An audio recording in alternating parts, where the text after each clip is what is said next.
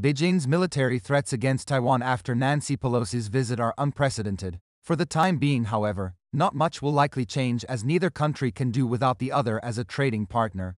China is flexing its muscles against Taiwan. The leadership in Beijing reacted to the visit of U.S. House of Representatives Speaker Nancy Pelosi to Taiwan with military maneuvers and missile launches. Now China has imposed sanctions on the self-governing island. Initially only citrus fruits, mackerel fillets and other fish products were affected. Even before Pelosi's visit, Beijing stopped imports from more than 100 Taiwanese food producers. In addition, Taiwan can no longer import sand from China that the construction industry depends on. Later, China even imposed sanctions on Pelosi herself. One important industry was left out of the fray electronics such as microchips or optical components, which China's economy cannot afford to go without. How integrated are the two economies?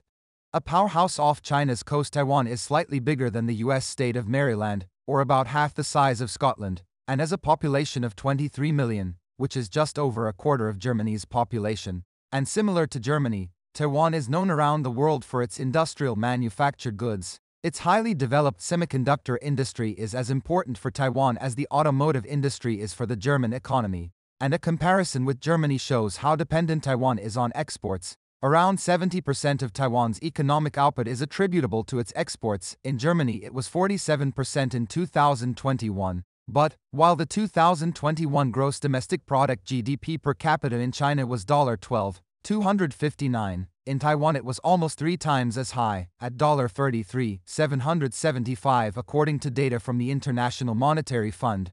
Trading the mass produced for semiconductors overall, China is Taiwan's most important trading partner, followed by the United States. More than 42% of Taiwan's exports go to China, from where Taiwan gets around 22% of its imports. In 2020, goods and services worth 166 billion were exchanged between the two countries. Taiwan is also among the top investors on the mainland. According to the government in Taipei, between 1991 and the end of May 2021, Taiwanese companies invested around 194 billion in a total of 44, 577 Chinese projects. Chipmaker Foxconn's factories are one of the best known examples. The contract manufacturer makes iPhones for Apple, Galaxy smartphones for Samsung, and game consoles for Sony in plants throughout China. And the fact that semiconductors and other IT technology account for more than half of all Taiwan's exports shows how important the country is to the rest of the world, including China.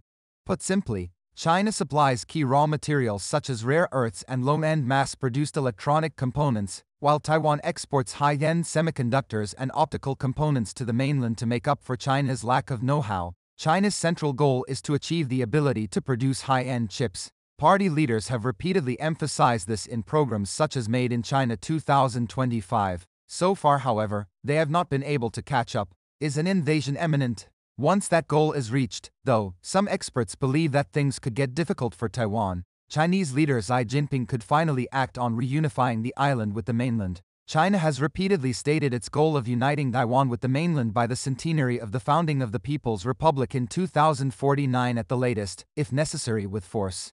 But it will probably happen much earlier, Roderich Kiesewetter said. The security expert is chairman of the Foreign Affairs Committee in the German parliament, the Bundestag, and deputy chairman of the Parliamentary Oversight Panel, which is responsible for monitoring the German intelligence agency. Kiesewetter made his opinion clear in a recent TV interview. Until now, our parameters were such that we said, if China is able to produce semiconductors with the same precision, speed and quantity and that probably wouldn't be until 2027 then an attack is likely, he said. But there are schools of thought in China that say, right now, the West is very occupied by the war against Russia and supporting Ukraine, According to Beijing, the Americans do not have the strength to fight two wars on two fronts. Still Kiesewetter believes China is not ready for an invasion. However, there are warning signs. We have to prepare for an escalation more quickly, but not in the next few months, he said. Business is China's first priority. Kishore Mahbubani said it was clear that China would assert its interests in an increasingly ruthless manner in the future. His book Has China Won explores what will happen when China surpasses the US as the world's largest economy. Mahbubani does not believe that Beijing will use military force to take over Taiwan just yet. The Chinese are much more interested in business than in ideologies. For the decision makers in Beijing, the risks clearly outweigh the opportunities, the Singaporean political scientist, diplomat and former president of the UN Security Council, emphasized in an interview with Bloomberg TV. Chinese officials don't think in terms of years, Mahbubani said, they think in terms of decades. The Chinese are making sure that they have a bigger economy than the United States and they will remember everything that happened in the past. That's when all the real retaliation, the real responses will come, he said. When China eventually becomes the no one economy in the world,